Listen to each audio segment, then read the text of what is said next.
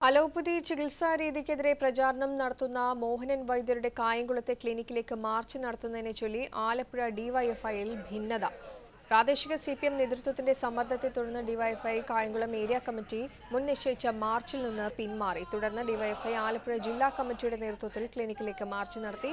അശാസ്ത്രീയമായ ചികിത്സാ രീതി മൂലം ഒന്നര വയസ്സുള്ള കുട്ടി മരിച്ചെന്ന ആരോപണമുയർന്ന സാഹചര്യത്തിലായിരുന്നു മാർച്ച്. മോഹനൻ വൈദ്യരുടെ ചികിത്സാ കേന്ദ്രങ്ങളെല്ലാം അനധികൃതമായി പ്രവർത്തിക്കുന്നവയാണെന്നും അവ അടച്ചുപൂട്ടാൻ സർക്കാർ നടപടിയെടുക്കണമെന്നും മാർച്ചിൽ ഡിവൈഎഫ്ഐ ആവശ്യപ്പെട്ടു.